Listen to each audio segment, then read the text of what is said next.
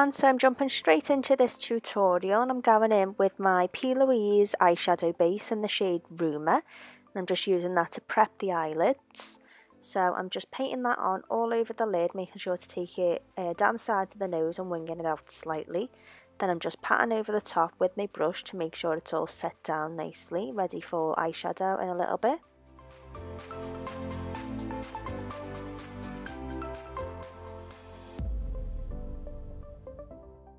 and I'm just taking a fluffy brush just to blend off those harsh edges so there's no harsh lines when it comes to foundation a little bit later on. Just pat patting out any creases across the lid. So the first eyeshadow I'm going to go in with today is this Melkior Cosmetics eyeshadow in Autumn Sunset. I'm just packing that colour on all through the crease just using pattern motions rather than swipes just to make sure the colours, you know, the pigmentation's built until I'm happy with it.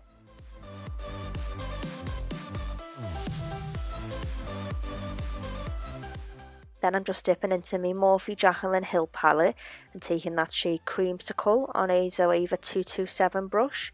And I'm just using that slightly higher than Autumn Sunset to sort of blend out that edge. I wanted to have more of a mustardy yellow rather than, you know, like a typical orange and yellow gradient.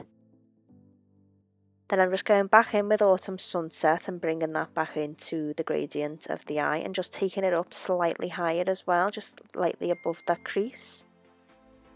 Then I'm going to go in with this shade from Melt Cosmetics from the Rust stack. This is Rubbish, just sort of a deeper mustardy colour. And I'm just keeping that right in between those first two shades. Then to deepen up that crease ever so slightly more, I'm going back into my Jaclyn Hill palette and taking the shade Mocha, just on this small blending brush, and just keeping that right tight into that little crease line. Across the lid, I'm going to go in with the Maybelline 24 Hour Colour Tattoo in the shade On and On Bronze. And this is going to act as a base, a cream base for our pigment in a little while.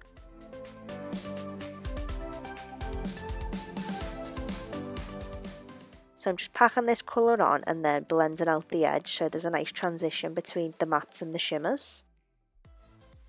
Blending that out with the darkest brown we used before. Then to set that cream shadow in place, I'm going in with the Peaches and Cream pigment, loose pigment in Hollywood, which is this gorgeous white pigment with gold reflex. This is my new fave pigment. I think it looks absolutely unreal. I've used it over like a bronzy base, a rose gold base. It just looks stunning. So I'm just packing that all over the lid and then spritzing my brush with some fixing spray and going back over the top just to make sure that pigment stays put and doesn't move at all throughout the day.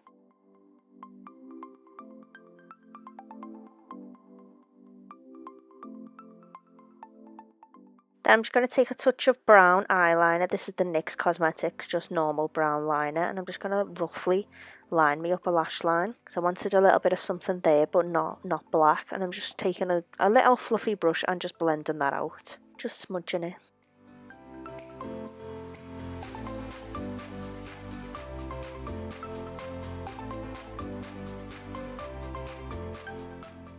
Okay, lashes are on and now it is time for the face. So I'm taking my Iconic London Liquid Illuminator drops in the shade Shine and just popping that all over the face so we look gorgeous and glowy like the Tin Man. I'm just blending that out with the Duo Fibre brush from Real Techniques. I can't remember the exact name of the brush.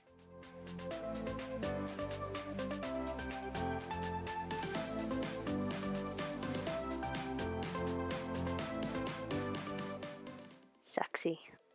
For foundation, I'm taking the Illamasqua Skin Base Foundation in the shade number 4. And as always, I'm just painting that on the skin using a regular flat foundation brush first.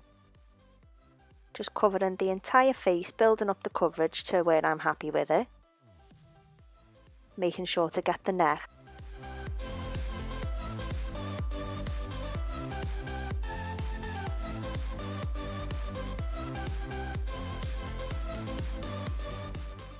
Then I'm just taking my sponge and just blending all that, that foundation out, pushing it into the skin so there's no harsh lines, you know, from the from the foundation brush.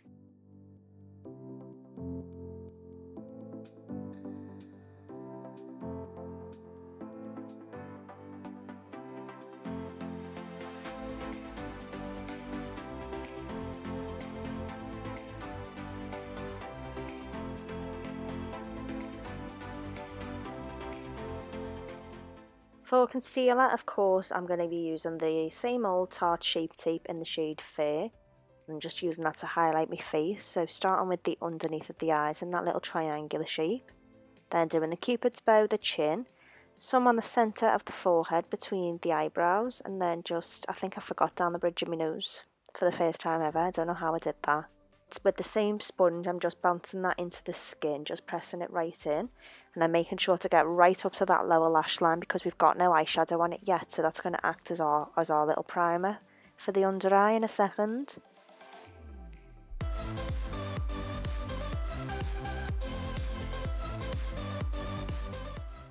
I make some attractive faces during painting my face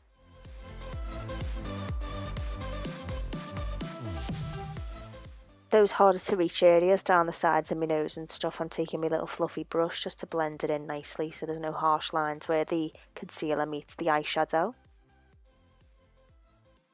For a bit of cream contouring, I'm taking my L'Oreal Infallible Foundation Stick and this is in the shade 220 Toffee Caramel. I'm just popping that on all those like contour bronzing areas, so the cheekbones, the jawline and the forehead. Then I'm just taking this Real Techniques brush and just pushing that foundation stick into the skin again. I'm pushing it upwards to keep a sharp line underneath.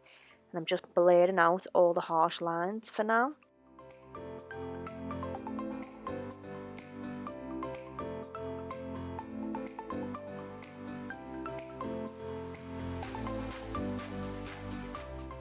So look the difference between blended and unblended.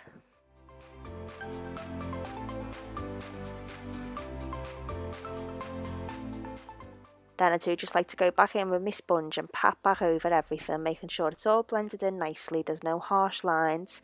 And also if you've put too much on, this can always, you know, tap it back a little bit and take it back.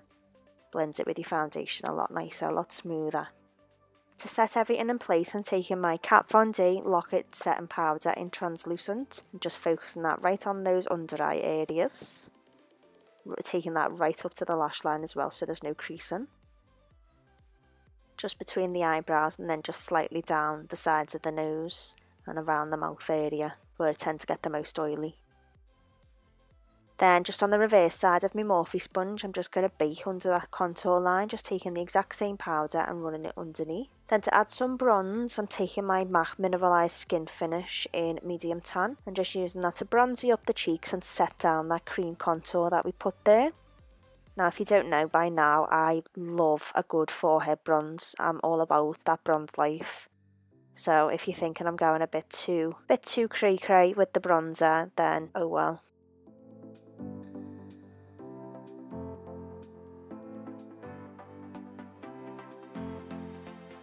For highlighter, I'm taking my Ofra and Nikkie Tutorials highlighter in Glazed Donut, the world's best highlighter.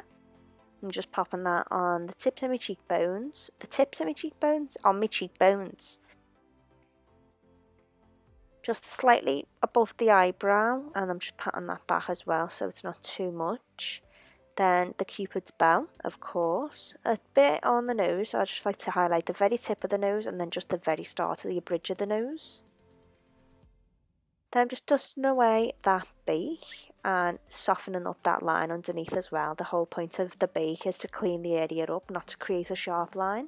Now going in with blush, I'm taking my Morphe 9N blush palette and just lightly stippling on a slight bit of blush on the apples of my cheeks. And then just going back in with my powder brush and patting that blush back because you know blush can go from 0 to 100 very quickly.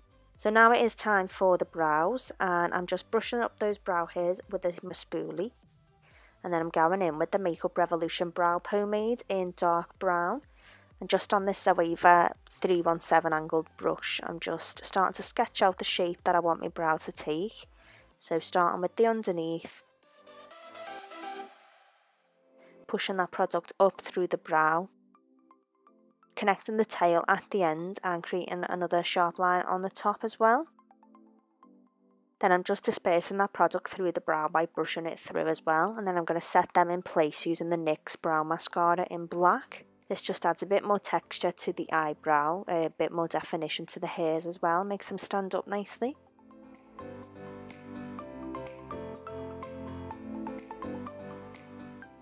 Then I couldn't decide which lip to go with. I wanted to do a bright lip, but I also wanted it to be wearable. But I would honestly wear this eye look with a bright red lip or a coral lip or something like that. I think it'd be perfect for proms. But I did decide to go for this nude Primark um, liquid lipstick in Like That today.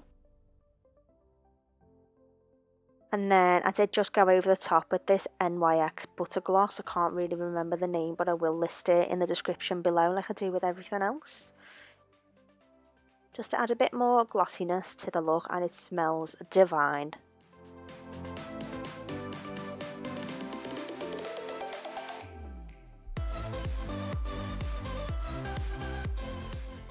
Then I'm just adding a touch of that highlighter just to those inner corners to brighten everything up. And that is the finished look today. I hope you enjoyed this video. If you did, make sure and give it a thumbs up and don't forget to subscribe so you don't miss an upload. But thank you so much for watching this video and I hope to see you again soon. Bye!